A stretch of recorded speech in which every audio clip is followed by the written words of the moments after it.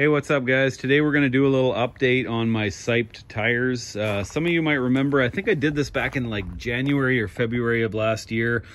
Um, I really didn't get much of a chance to drive it around on icy roads. It pretty much uh, stopped being icy on the road right about uh, that time of year. And I didn't really have it up in the mountains that much or anything like that. Um, as you can see though, uh, definitely they're not chunking or doing anything weird. These are on uh, 37 by 11.5 R20 uh, Nitto trail grapplers.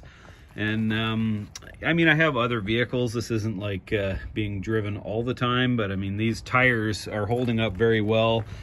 And uh, also, I'm just not really seeing any negative effects from uh, doing the siping. Um, so anyways, yeah, if you guys are ever wondering about this, uh, a couple things to keep in mind. These tread blocks are pretty tall and uh, I didn't do the, the cut super deep, so they're not really that close to the carcass of the actual tire.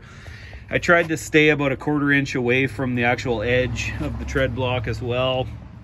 But you know, I mean, uh, they definitely seem to be holding up pretty good. So anyways, if you've ever wondered about uh, siping tires, I'm sure that it is not uh, recommended to do it yourself, but I just gave her a try and figured what the heck, and so far, so good.